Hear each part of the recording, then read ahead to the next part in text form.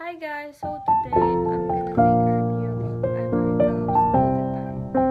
So I bought this online. It costs around 25 to 27 dollars. So babasahin ko guys yung nasa likod. Ivory Cups is an enhanced skin brightening supplement to provide maximum skin enhancement benefit. So yung direction na nakalagay sa likod takes 2 capsules daily or pwede ka rin uminom ng 6 capsules daily or o yun nakalagay do not exceed 6 capsule daily. So nagamit ko na siya guys. Bali unti na lang yung natira. So da dalawang inuman pa yung natira. Bali yung ganito yung itsura niya guys. Ganyan siya. Wait. So, yan. Nakikita ah, nyo. Bali, I drink this every morning with an empty stomach. So, yung iniinom ko every morning, I only take 2 capsules daily. So, for me, the effect, it makes my skin a, it makes my skin a little bit lighter, as you can see. So, every day, guys, I take 2 capsules of Ivory Cups Glutathione.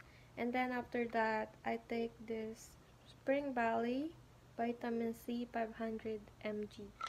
So, yung Spring Valley, iniinom ko rin siya guys. Nabili ko siya sa Walmart for, I think, $5 if I'm not mistaken.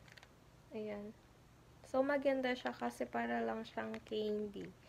So, ito lang yung ginagamit ko.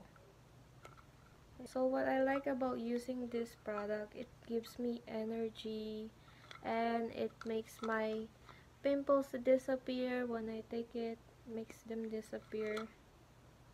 And I don't drink glutathione not only because I want to enhance my skin. I read that glutathione is good for our immune system too.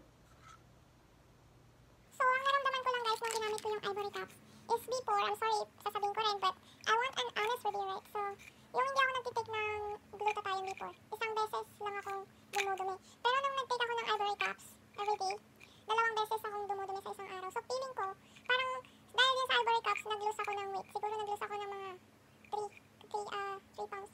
Madali ako nag-lose ng weight, pero matako kasi talaga ako, so yun. Pero nakaka-help din siya sa pag-lose ng weight.